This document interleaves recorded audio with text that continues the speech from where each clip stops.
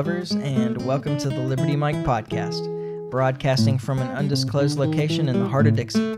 I am Michael, and I am here with Liberty Larry. How's it going? Doing okay. Yeah. Doing okay. Doing okay. Only okay. Yeah, well, you know, it's uh, it's Good Friday, so I'm doing good. It is a good Friday. Yeah. Um, I don't know where to where to start with this. I I don't know. What what you want to start on? I- Want to open with war or close with war? I don't, I don't want to open with war. Uh, we can open with like I had a hard time finding places for um to put all the guns that I brought back to my house last week. Ah, that's a good problem to have. Could be. I don't have ammunition for everything. Yeah. Um, that's a bad problem to have because Yeah. ammunition is hard to find and pricey. Well, some of it. Anybody's interested in um, a 12 gauge shotgun? I, I have two to get rid of. So, Michael at the Liberty Mic. yeah, all right. For all your 12 gauge needs. we'll see. We'll see if we can work something out. Um, yeah. Well, uh, okay. So we finally went through. All right. This is. I'll say. Um, it's a good thing probably that um, my dad sold off most of his gun collection after he retired uh, from law enforcement. Yeah. Because there's no way I could have went through all of them had he had not. Oh, yeah. I mean, I remember there was a time where you couldn't like every flat surface in the house pretty much had uh, some form of of firearm on it. Yeah. Um, there were only a dozen or s- uh, I guess more than a dozen, but uh, Yeah. anyway, there it it was certainly much easier than it could have been. There were only a few pistols, Yeah. um, but there was a time when my dad must have had thirty pistols, and Yeah. so you know. I won't disclose how many pistols I have. I have an undisclosed amount of pistols. I, yeah, well, me too. Um, and, and now I have several more shotguns and rifles as well. yeah. Uh, so, uh, anyway, yeah. Um, but when I, I got home, I realized that, well, first off, I've got a lot of stuff. Yeah. And so there's like stuff everywhere. And so finding places to put things yeah. ended up kind of being difficult. Uh, Gotta buy you a safe, man. I have a safe, but it's I don't have like Gotta I don't have a tall safe. Gotta buy a gun safe. Yeah, um, I don't have a tall safe, so none of the none of the long guns could go yeah. in my safe. I definitely like having a gun safe now. Yeah. Yeah. Um, but it was nice to pick up some things that I like. I remember, and uh, and of course, my brother and I didn't argue at all about who got what, Yeah. um, which is also nice. I, I don't expect that we I didn't expect that we would. Yeah. uh, but it was the same way with me and my brother going through my dad's collection, and he had a Mm. Uh, probably a little bit larger collection from the sounds of things than what your dad had. yeah, Um, but I mean, it was. I mean, a lot of it had already been decided pre. Like Dad had said, this gun is yours, this one's yours. So Mm-hmm. it, it wasn't. There were some guns that was this, some discussion on, but it was all pretty Yeah. pretty simple to to lay out. well, and some of the guns that Dad had were specifically either mine or Daniel's. Yeah, too. Um, so like he had our um, our dove hunting shotguns, yeah, and so we just took our own guns. And yeah, um, there was a, uh, a deer rifle that he'd gotten for me that he wanted a, as a door prize at a gun show, by the way. Um, so that one was already mine, and then there was another deer rifle, which was Dad's deer rifle. So we just gave that one to Daniel. yeah, Um, and uh, there were only a couple of things that I was like intent on that weren't specifically mine that I that I wanted. yeah, Um, and they were both 22 rifles, so it was not really that big a deal. yeah, Um, so one of them is the so our neighbor when we first moved here. Um, this uh, our neighbors were this older couple.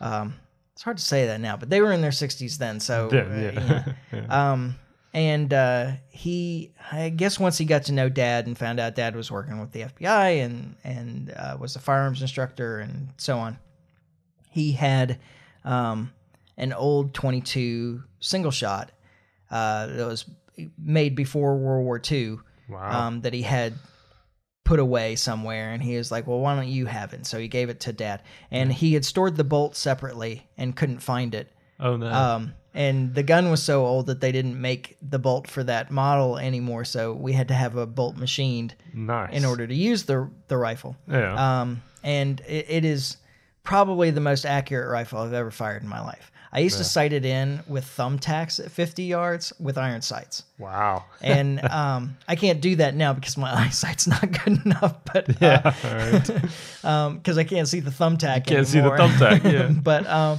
anyway, like it's a really really accurate rifle, and uh, and it's really the gun that I learned on, Yeah. and so I, I really wanted that one. to- yeah. Um, and then um, there's a a, uh, a tube fed uh, pump action 22 rifle Yeah. that I just think is cool. All right. and uh, and there was no argument for Daniel from Daniel about either of those, so Yeah. so I got them. well, cool. Yeah. Now we need to go shoot them. Yeah, I need to. You can come over one day with uh, with your uh, cleaning kits, Yeah. and probably one of the things that the first things that we need to do is go through and clean every gun in my house. Yeah. You can bring your guns too. I'll help you with your guns if you'll help me with mine. We'll have a gun cleaning party. That sounds like fun. Exactly. I always enjoy those. Um, because uh, like the one we brought down from the lake, Yeah. Oh, that Needs- gun. That gun needs some help. Yeah. Yeah. Yeah. That gun um, needs some attention. really needs cleaning. And then I found almost all the pieces of my CZ. Oh, nice. Almost. Almost. all the pieces of my CZ. I don't know what Dad did with the rest of it. I yeah. uh, I might I may never get to shoot that gun again. oh well. Um, it had problems too. It jammed all the time, and I was I was kind of disappointed. Which is the reason it was in pieces. Yeah, yeah. Um, he yeah. Oh well. Uh, now that we've wasted everybody's time with that, we have to figure out where to start. Um. All right, you yeah, you do your thing. I was gonna say so Elon Musk is I guess attempting to buy Twitter is the news is it was my big news of the day yesterday. Um so uh, I guess a couple of weeks ago, a week ago, maybe not even a week ago, he bought a majority share. So like 9% or 11%. I can't remember. I think it was 9%. Um, but that made him a majority shareholder. And so they were trying to get him to join the board. Well, he declined that because he wasn't done buying shares and decided that he just wanted to buy the whole company as a whole. I guess yesterday, that's the news broke of that yesterday, that he had made an offer to buy the whole company.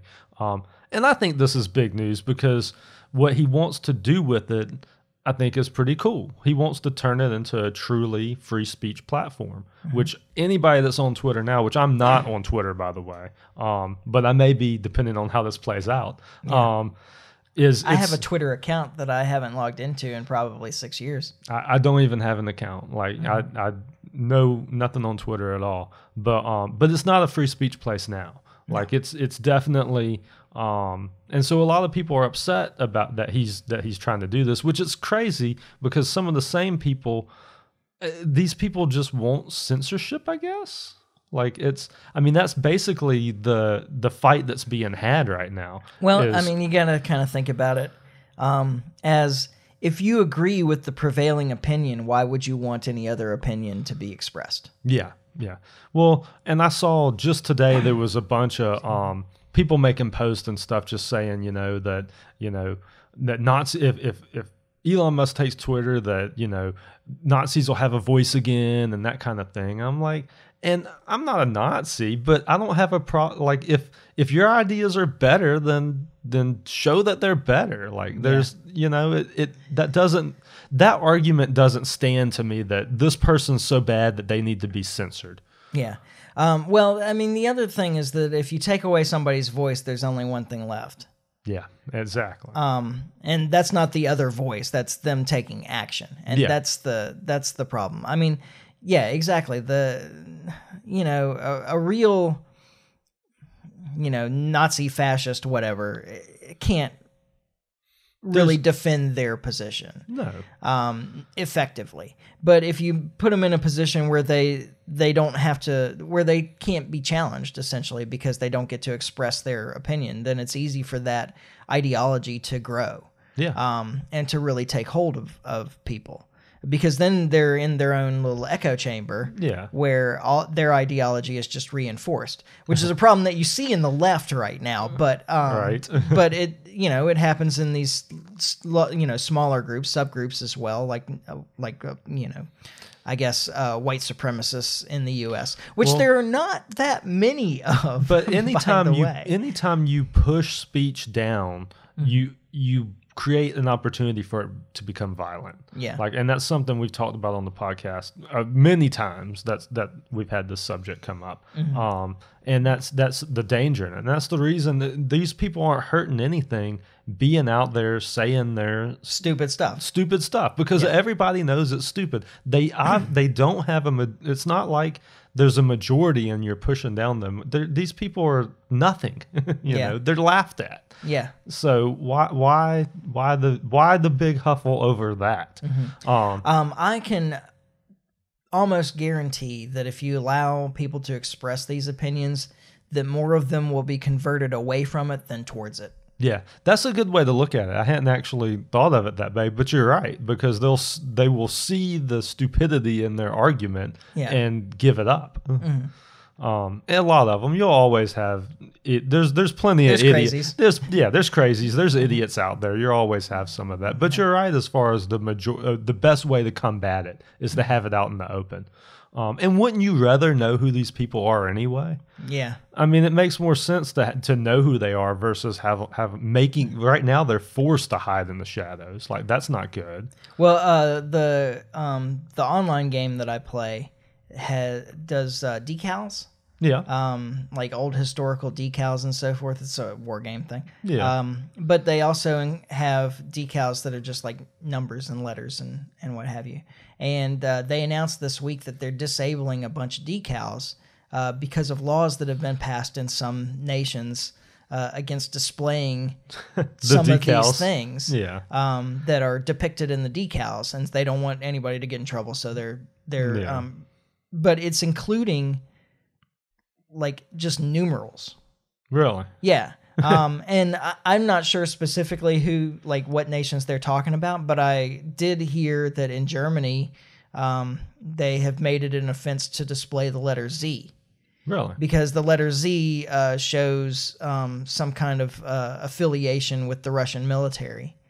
Um, And so they can no Hmm. They longer. Yeah. So now the letter Z has been banned, in Germany, essentially. Right. And um, and I guess what bothered me about it is because the, there was a, a chat group discussion about this, and um, and one of the the comment that stuck out to me um, was somebody saying, "Well, it is what it is. I don't have a real problem with it."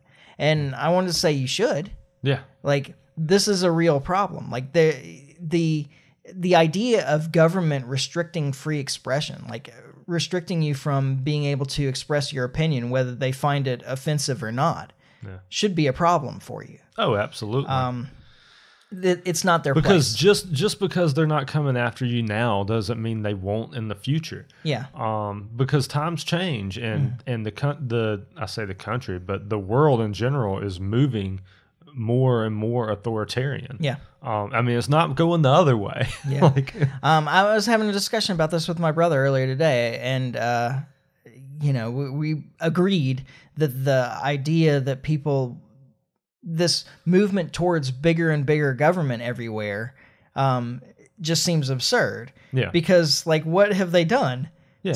What to what help they, to fix your problems? Well, what what did they do to earn it?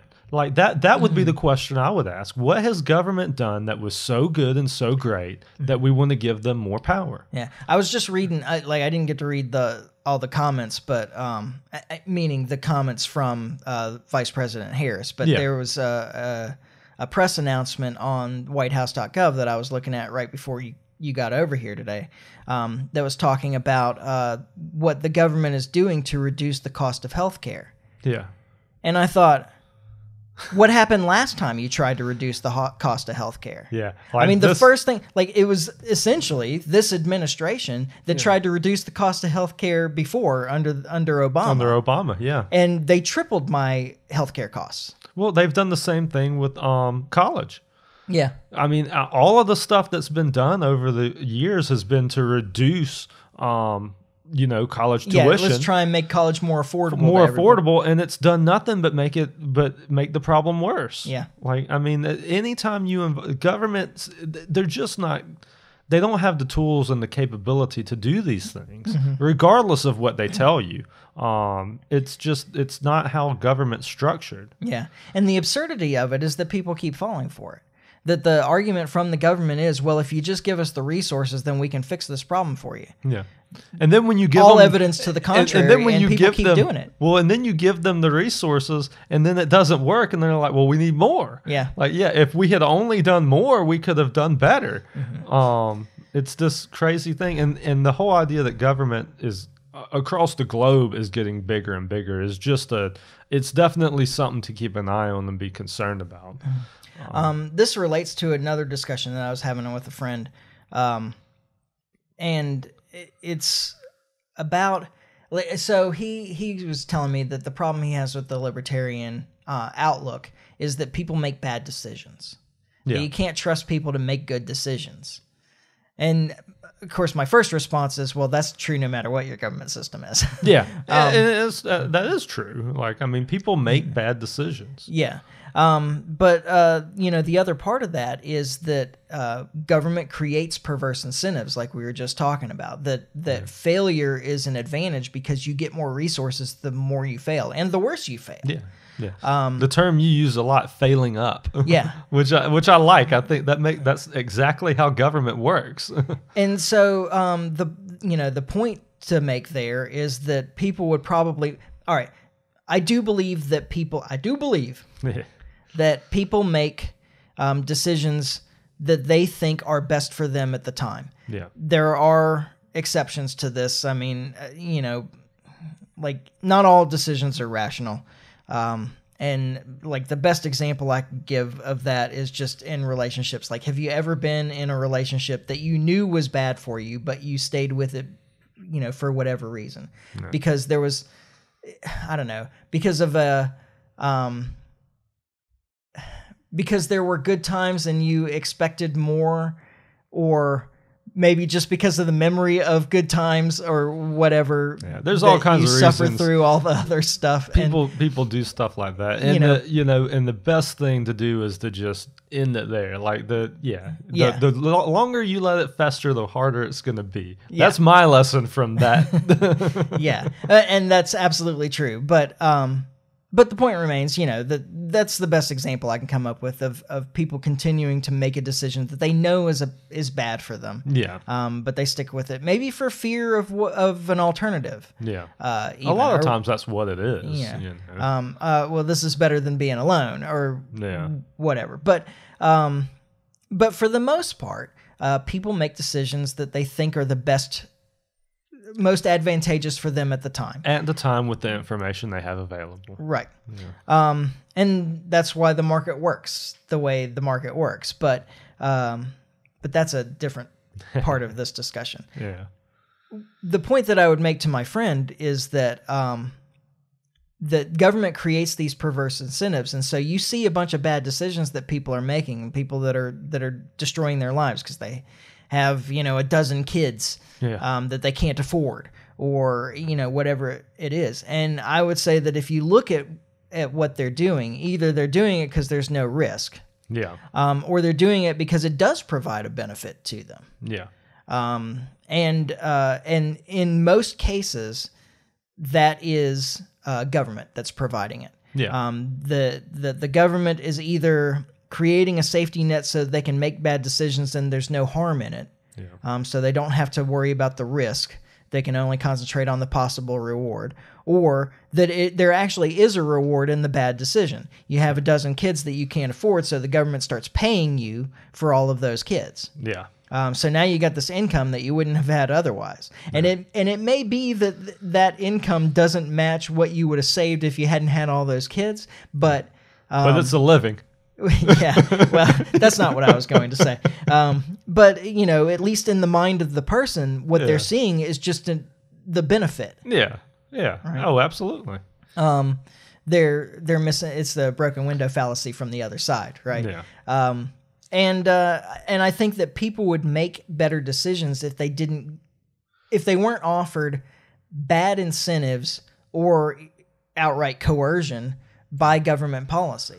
Well, and my other retort to that is, well, if if we need government because people make bad decisions, where do you draw those lines? Yeah. Like- what about the people in government when they make bad decisions? Yeah. That's the other Well, response. eh, oh, absolutely. well, yeah, because government is ultimately made up of people. Yeah. so Usually notably ungoverned. ungoverned, exactly, exactly. So yeah, but where do you draw that line as far as okay, you know, um, especially, and we've seen this line be drawn before as far as trying to regulate, um, like food and stuff like that, Mm-hmm. like you know, banning trans fats and things like that. People have got to be able to make their own decisions. Yeah. Or I remember the big gulp fiasco in New York, like banning the big gulp. Yeah. like i mean these type of things that's what you get when you're like when you well people don't make good decisions so we need to make them for them like that's what you're advocating for is Mm-hmm. Yeah. is that type of government You're also assuming that the same decision is good for everybody, and that's Yeah. not true. because i need my big gulp Right. like Got to get some sugar in this. i got i gotta have that i gotta have my sugar like you, you don't want to be around me i promise like i've gotta have it like yeah. Um, uh, yeah. Then it, there isn't a one size fits all policy for 330 million people in a nation this size. It, ju- it just doesn't make sense anyway. Which is why we advocate for for more localized government control. Um, if you're going to have government at all, it needs to at least be familiar with the struggles of the people that it that are Governs. its, yeah that it governs. yeah Um, but uh, you know, the other part of the argument that that I think we I don't know if we ignore it too much because I'm I'm not sure if people if people think about this in these terms. But even if you think you can make a better decision for somebody about their life than they can, what moral right do you have to make that decision for them? yeah exactly And at what point does it become slavery? yeah Like when you start making decisions for somebody else's life, At, at what point have you moved past a line where it's not their life, where you've taken control of their life to the point that they are essentially a slave? exactly And I and I hope at this point in 2022 that we can all agree that slavery is bad. Uh, that's that's something that I've definitely like. People have made a determination on that. The people have spoken when it comes to slavery. yes. So, um, you know, you know, where do you draw the line? Is Yeah. is the right question. And so the, you know, the response should be the best place to draw the line is right at the beginning. yeah, yeah, Like their life is their life, your life is your life. There's some nuance where the two meet. yeah, You know, there's decisions to be made, but it doesn't have to be legislated in the same way. I mean, it Yeah. does outline the importance of uh, some kind of legal system yeah, um, or judicial system, justice system, whatever you want to call it. Yeah. But um, but the the moral stand and the I think it would be borne out the mo- the most effective stand is to let people make their own decisions about their life, which is like one of the f- the founding tenets of this particular podcast. Yeah. is people should be able to make their own decisions about their lives. absolutely. Um, and if you are taking that ability away from them, then You're a slave owner. Right. there you go. Um, So on that happy note, yeah, now that we've beaten that to death, uh, uh, wh- where do we go from here? I, I think that we go uh, actually. All right, so uh, I was watching uh, Saved by the Bell because it's available on Netflix right now, and it's been a long time since I watched it. So I've been going through Saved by the Bell, and it is super cheesy. Like, does not hold up. yeah, Um, but uh, there was something in an episode that I watched um, recently that that seems relevant now. all right, Um, and they were having a uh, a costume ball at the school, and the principal, Mr. Belding, made it a point to say, "And remember, the men that are dressed up as women still have to use the men's bathroom." And it was like a joke Right. in there, and now it's an argument Yeah. in 2022. it is an argument. And you know, this was only 30 years ago Yeah. that the show was made, roughly, something like that. yeah, approximately. Um, and uh, and I, I just I found that interesting, especially in light of um, Jen Psaki's recent comments about the Alabama law, yeah, uh, the Child Protection and something something Act. Anyway, um, well, let's just start with her a little bit, and we can address this piece by piece. all right. uh, across the country. As we've talked about a bit in here, Republican elected officials are engaging in a disturbing, cynical trend of attacking vulnerable transgender kids for purely partisan political reasons. Today in Alabama, instead of focusing on critical kitchen table issues like the economy, COVID, or addressing the country's mental health crisis, Republican lawmakers are currently debating legislation that, among many things, would target trans youth with tactics that threatens to put pediatricians in prison if they provide medically necessary life saving health care for the kids they serve. I love how COVID's the, the one of the issues that she brings up. Does she not realize COVID's over in Alabama? Yeah. We're done with that. Like, yeah, we we've moved on. yeah, yeah, we're past it now. Yeah, uh, like a year and a half ago, yeah, exactly. Done. roughly. Um, well, okay, so I did find it interesting that she says that instead of discussing kitchen table issues, Yeah. um, and I would suggest that probably one of the most important kitchen table issues for a family is how their kids are being raised. Oh, without question. oh, there ain't no question about that one. Yeah. Right. Yeah. You're, you hit it on the head with that. Um, and then she said, or mental health issues. You could make an argument that they are addressing mental health issues with this. Um, and of course, she makes it a point of saying th- this is life saving medical interventions. And she's got more to say about that. But, um, but well, let's just keep playing. let's see. Let's hear it. Just like the extreme government overreach we've seen in Texas, where politicians have sent state officials into the homes of loving parents to investigate them for abuse just to harass and intimidate the LGBTQI uh, plus community, today's vote in Alabama will only serve to harm kids. But Alabama's lawmakers and other legislators who are contemplating these discriminatory bills have been put on notice by the Department of Justice and the Department of Health and Human Services Now, my smartass commentary first. I find it really interesting that anybody in the Biden administration would criticize somebody else for government overreach. Yeah. All right. Um, but uh, yeah, so um, I, I'm not sure what specifically she's talking about in Texas. I, I, I'm not sure. Um, I mean, I know we talked about the Florida bill, but I don't remember Texas having one. Yeah. But maybe they do. Well, I- uh, they have some version of of the of the Florida law do they in um, in Congress right now in their state in their Congress. state Congress? Yeah. uh, I think. Um, I the only thing that I could think of actually is uh, remember the story that we covered. It was a long time ago, actually. Now, um, where the uh, the lady had twins and was um, the couple had twins and she was like making one of the twins into a girl and the husband or the ex-husband. oh, I do the- remember. the- that was a while back, but I do remember that. Yeah. um, that's the only Was pitching case a that fit I can, about it, Yeah, yeah. that's the only case that I can think of that she's talking about there, but I, I don't I don't know specifically. yeah. Um, now the the disturbing part of this is like right at the end, uh, where um, she says the Department of Justice and uh, and Health and Human Services have put these states on notice. Yeah. So, and that goes back to exactly what we were talking about earlier, where the big About government overreach? well, about big government, your your your federal government reaching in on local issues. Yeah. Like, I mean, this is something that clearly states can decide for themselves, as far as I'm concerned. Yeah. Um, and I have an agenda here. Like, I agree with the what we're doing here in Alabama. So, you know, s- woe is me. But I don't think that the federal government has a right to come in and try to step on that. Well, I have the bill right here too, so we'll we'll address. Um, I'll Some pull some parts out of the, specifics, the bill. I actually think that the bill was really pretty well written. It's it's very specific in what it restricts and and the reasoning for it and so forth. I, I thought that it was it was quite well done.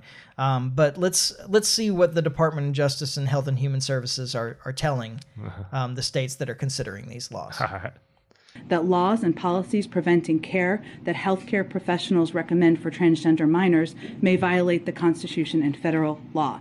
To be clear, every major medical association agrees that gender affirming healthcare for transgender kids is a best practice and potentially life saving. All of this begs an important question what are these policies actually trying to solve for? LGBTQI plus people can't be erased or forced back into any closets, and kids across our nation should be allowed to be who they are without the threat that their parents or their doctor could be imprisoned simply for helping them and loving them. Uh, President Biden has committed in both words and actions to fight for all Americans and will not hesitate to hold these states accountable. okay, I would like for her to point out to me where in the Constitution it gives the federal government this power. Right. Um, because the only thing I can think of in the Constitution where there that addresses something like this at all um, is the Tenth Amendment that says that the states Can- have the power of anything that isn't explicitly given to the federal government. yeah. There you go. So I, I'm not sure what she means there. Um, and then there's some stuff in there that just, uh, I would say, charitably that the jury is still out on. yeah. Um, now the you know major medical associations may be pushing gender affirming healthcare right now, but I would say that it is it is far from certain that it is even helpful. yeah. I would I would argue the opposite, but yeah, you know. I mean, from what I've seen, uh, it doesn't have any impact on suicide rates. yeah. Um, so like the idea that this is life saving. yeah. Well, I mean, it's It's- it's, it's- a it's a that's a, actually an absurd point to make anyway. Um, Life saving healthcare and and when you're talking about healthcare, you're talking about emergency services. You're talking about life saving interventions that prevent somebody from from sudden death. Yeah. essentially. Absolutely. Um, this doesn't qualify yeah.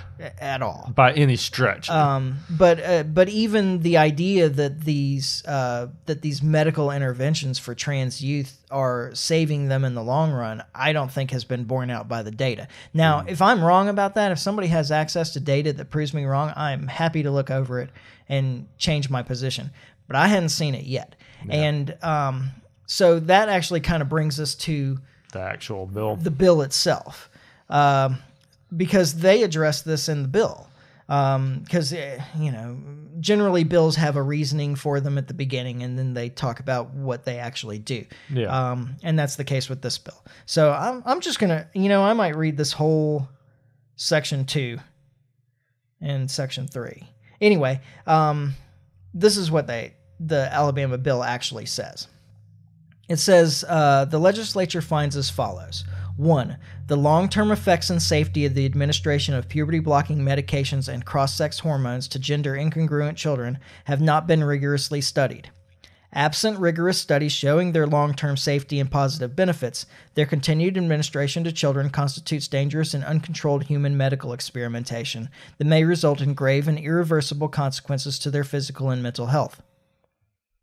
I think Checks that's a out so reasonable, far. yeah, I think that's a reasonable first point. Yeah. Uh, two, studies have shown that a substantial majority of prepubescent children who claim a gender identity different from their biological sex will ultimately identify with their biological sex by young adulthood or sooner when supported through their natural puberty. There is no psychological or medical test that can differentiate between the majority of children who will desist from their gender incongruence and the minority who will not. Research shows that the administration of puberty blocking medications or cross sex hormones forecloses the possibility of a natural recovery from this condition. Now, I can see some people on the left saying, "Well, you're assuming that this is a this is some kind of defect that they feel this way, yeah. right?" And Well. maybe, Maybe. uh, here's here's kind of where I stand on this. I don't Mm-hmm. think that I don't think children should be subject to this type of thing. If Mm-hmm. they if they truly do want to do this, that's something that needs to be done as an adult. yeah. Um, well, the argument there is that it's too late.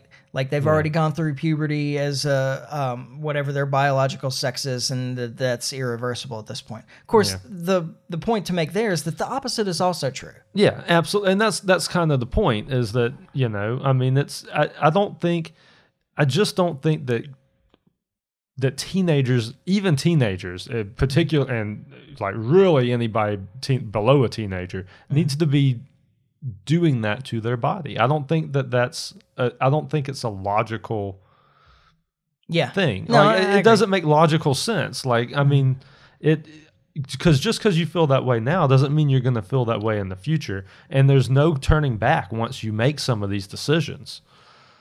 Yeah. Um. And And you're just not mature enough at that age to make those decisions. Uh, I, I find it interesting that if you are opposed to genital mutilation in one form, why aren't you opposed to it in another? yeah.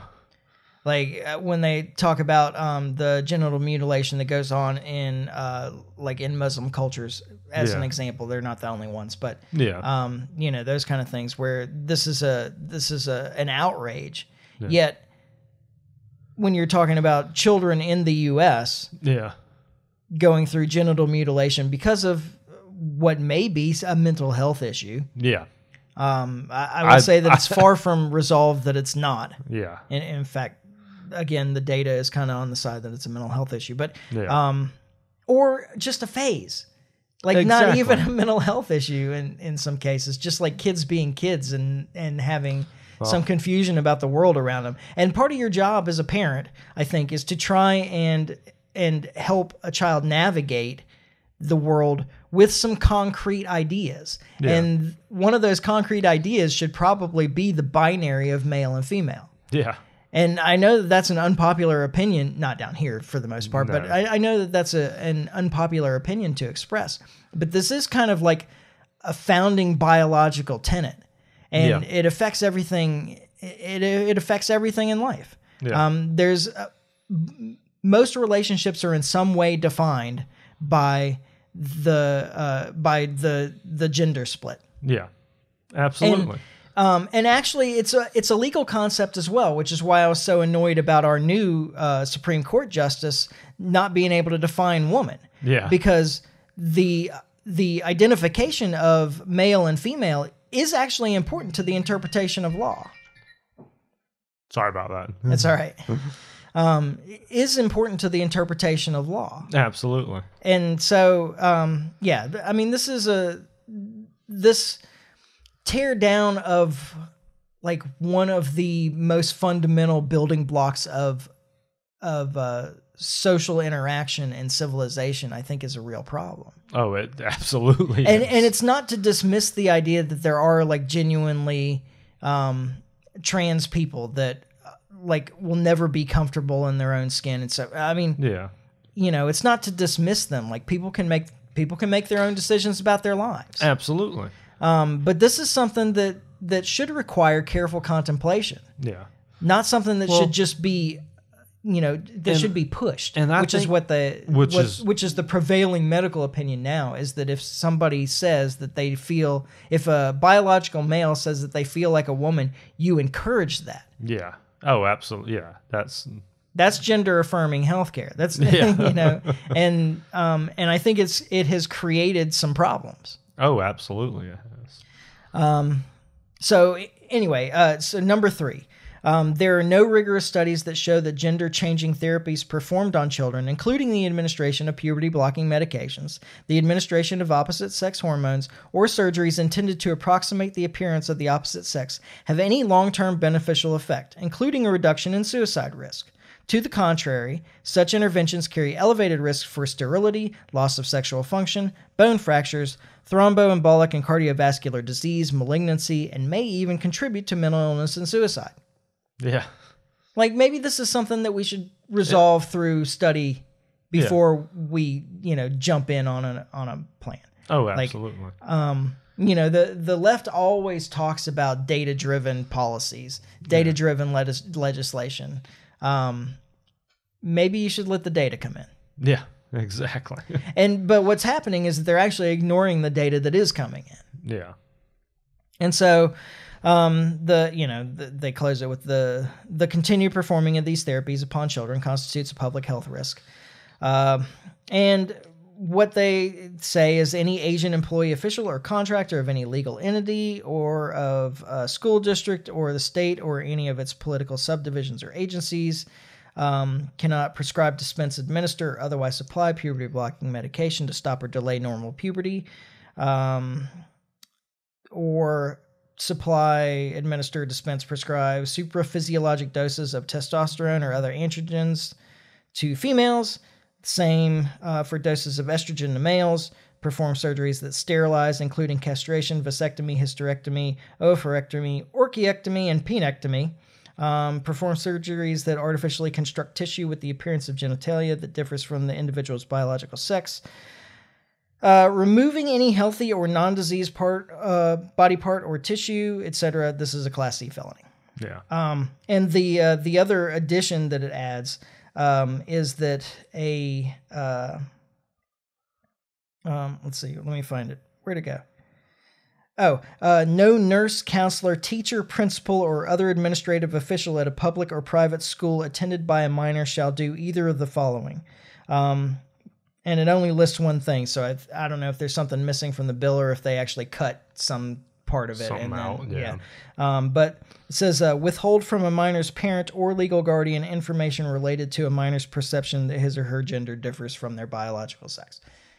Ah, Right. So you know the other thing that they prevent is is other adults um, helping your children along without telling you about yeah, this. exactly. And I think that that's perfectly reasonable as well. Absolutely, it is.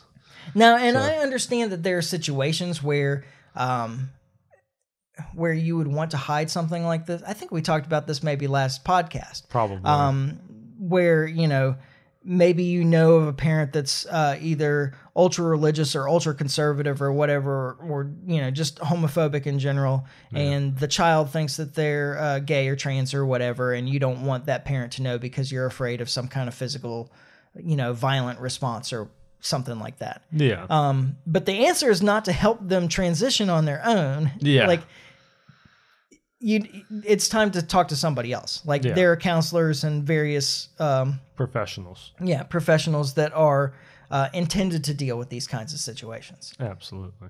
So, and uh, you know, again, I like I understand the um, problem with me advocating that you you go to a state counselor or whatever to do this, but it's better than the alternative that's available right now.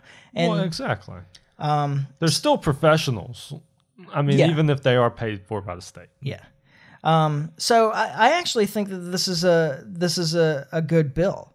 Um, it what it's really preventing is um, doing actual physical changes. Yeah. Um, it- it's preventing. It's not preventing uh, psychological counseling. It's not preventing you know anything like that. Um, what it's preventing is actually like starting the process of transition. Yeah. Which I'm In like I minors. said, I yeah, I, I completely agree with. By the way, Um. So, the, like what they're claiming about this, it's it's not it's not what they're claiming. First off, um, and some of the claims they are making about this being life saving interventions and so forth is uh, certainly not um, settled science, as they would say. yeah, Um, And uh, and I like the specificity of this bill. Um, it is very specific about what it permits and what it does not, and what it requires and what it does not. yeah, absolutely. And if you're going to legislate something like this, you can't ask for better than that. Yeah, I I. I would agree. Um, so you have anything else to add to that No. particular point? And we spent probably more time. I'm, I'm sorry to read like read a bill on air, but it was fairly short, and I thought like nobody's going to look this up, Yeah, and I, I think it's it's worth people knowing. yeah. Um. So then finally, I guess uh, our last little thing is that while I am not advocating for Putin's war in Ukraine, Yeah, is it absurd that I have to start with that? um, I am going to continue to debunk some of these stories of uh, of atrocities of you know Russian attacks on civilians where I see them yeah, um, because you don't have in at least in the U.S. right now you don't have access to an alternative point of view on this. Well, not easily anyway, Yeah. and certainly not in the mainstream. And we're not mainstream either, but um, you know, if if if your access to news is us in the mainstream, I'm at least going to try and provide a counterpoint. Um, so the recent uh, Russian atrocity was their missile attack on a busy train station in Kramatorsk, or however you say that, um, in the Donbass, of people trying to leave. Actually, it's like barely in the Donbass, but um, of people trying to flee the Russian invasion. And they're, you know, lined up for trains that weren't running, as I understand it, but uh, they did have buses running, so maybe that's where they were meeting for the buses. yeah, I'm, I'm Yeah. not sure. Um, but uh, anyway, the, there was a missile attack there that killed um, somewhere around 50 civilians, and there were a whole bunch of like really sad news reports. The you know children's bloody children's toys on the ground and and things like that. yeah, And it is it is it's terrible that this happened. yeah, Now, was it the Russians that did it? That's the question. That's the question. And there is certainly evidence to the contrary, just like there has been in all of these. And the Russians have, from what I've seen on their official stuff, have mostly fessed up to like the things that they've done. Yeah. um, and uh, denied things that are less likely that they've done. Now it could be that they're lying about that. I'm I won't Yeah. deny. This isn't by no means definitive, but let me Yeah. let me paint you an alternative um, with some evidence again. Uh, so to begin with, the the missile that was recovered, or the pieces of the missile that were recovered in the attack, um, are from a Tochka U missile, Yeah. which the Russians do not use. Yeah. They used to, Yeah. but they don't anymore. It's it's been discontinued in their military services. Um, but uh, Belarus uh, still uses it, and so does Ukraine. Yeah. Okay, so um, there, like one of the big parts of the story was that they found the tail section. Uh, which is the booster and the fins and so forth Yeah. uh, that separates from the warhead shortly before it reaches its target. Um, they found the you know the booster section in, in a parking lot near the train station, and it had painted on it for the children in Russian. Yeah. Okay. Um, and of course there was a big deal made out of that because the the first thing that was said was that like they they're attacking civilians and they said here here's a missile for the children you know those Yeah. terrible russians. Um of course an alternative explanation that was also given was that the if the russians had painted that on a missile of theirs um, it was for the russian children that had died in the donbass Yeah. over the last uh, eight years. Yeah. um 14 years. Yeah. 14 years. Since 2008 not 8 years since Okay. 2008 Yeah, yeah, anyway um but here here's the the part uh, now, seeing a, uh, um, a geospatial analysis of this Yeah. uh, with the understanding of how the missile works, where um, there's a warhead attached to this booster section. Uh, the booster separates shortly before impact, um, leaving the warhead to continue on its path, and the booster section falls to the ground. Um, the uh, um, people that have mapped it have shown that the booster section fell short of the train station uh, to the west southwesterly direction yeah. um, from the train station. Now, um, because of the way these things work, what you should be able to do is essentially draw a line from the point of impact of the warhead Yeah. through where the booster section was found, Yeah. and that'll give you the direction that the missile came from. Yeah. That makes. I mean. That, That's your ballistic line. yeah. Okay. So if you do that, it goes west southwest from Kramatorsk. Um, now, uh, Kramatorsk is partly encircled by Russian forces. The direction that the Russians have not been able to close the circle is to the west. Oh yeah. Okay. and so there are no, um, based on these reports, there are no Russians or Russian aligned forces to the west southwest of Kramatorsk, Yeah. only Ukrainian forces. Yeah. And the Ukrainians still use this missile and the Russians don't. Yeah. And so chances are Yeah. it was a Ukrainian missile that hit the train station. Which now, makes you wonder, what were they doing? Was this an accident? well, Or- that's the other question, right? Was it intentionally um were they were they attacking their own people to uh get cuz obviously like you hadn't even heard about this story I so obviously um the world is moving past Ukraine and and not caring about Ukrainians anymore uh, ever since um Will Smith slapped Yep. Chris Rock. that seemed to um, be the reset. yeah. Uh, so, you know, it could be that they, you know, that they that they had um, attacked their own people to try and create uh, outcry again and get the focus back on Ukraine. Yeah. Um, because uh, Vladimir Zelensky is still groveling all over the world, asking for more weapons and and so forth. So.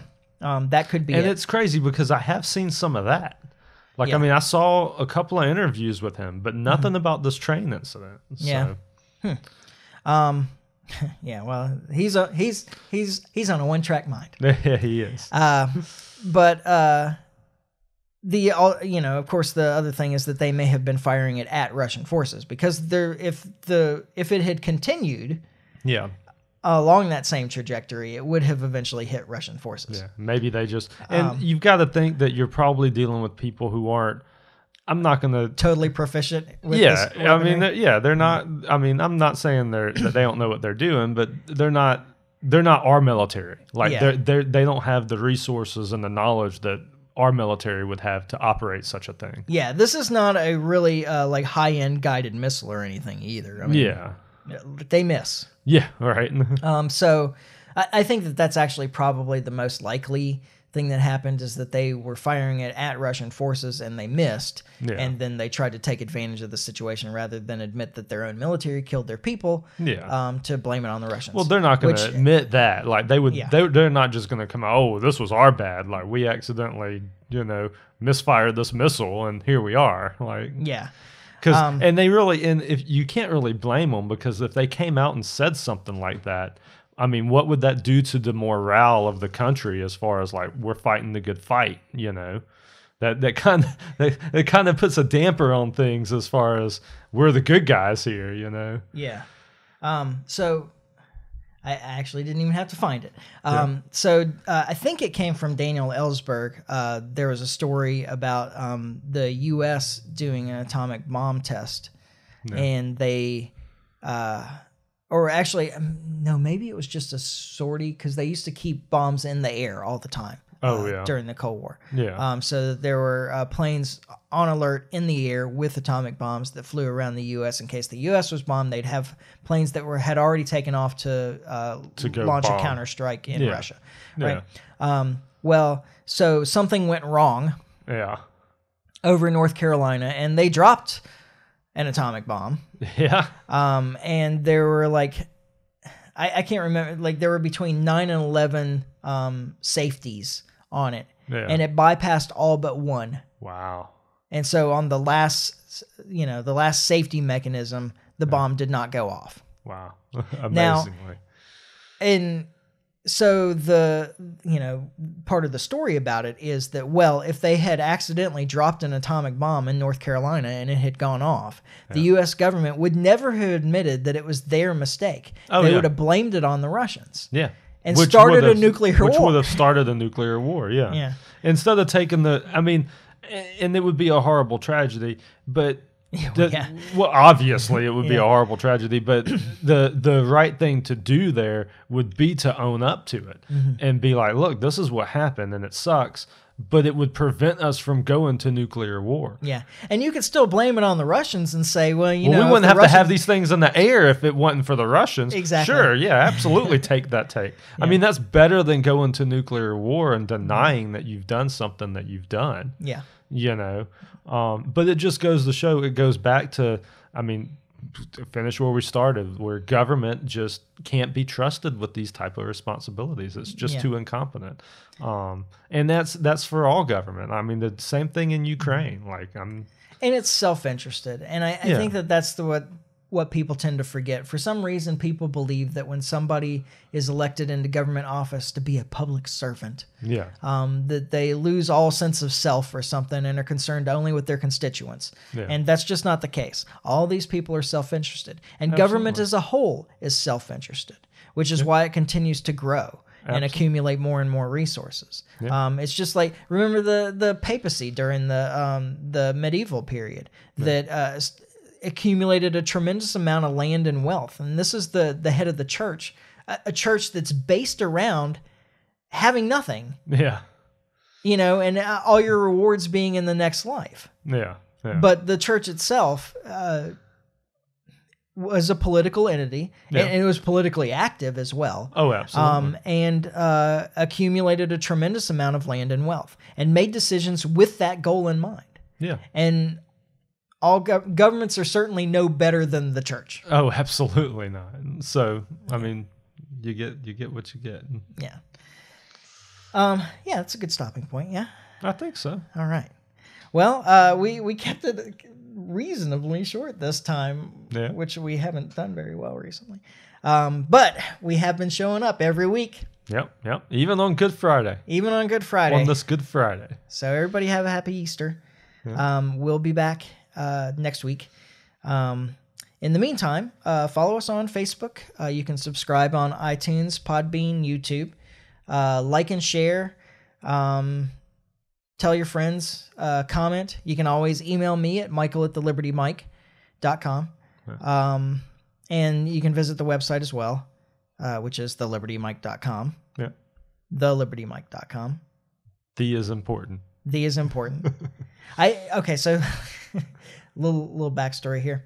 Um, I started to think that like all the best bands were the whatever, Oh yeah. right? Yeah. It's the Beatles, the Rolling Stones, the Doors, the Grateful Dead. Yeah. You know, It seems to check others out. others may not agree with me that those are the great bands, but um, Yeah. but from my perspective, the best bands were always the whatever they were, Yeah. And so I wanted We are the too. Liberty Mic. We are the Liberty Mike. Absolutely. Um, and uh, yeah, so we Friday, I guess. Yeah, I think we need to plan on Friday. All right. Um, so we yeah we should be back next Friday. Um, so yeah, we'll regardless we will get you a podcast in another week, and uh, and that one we will finally get right. and in the meantime, try to stay free. Life short, live free. Ciao. Later.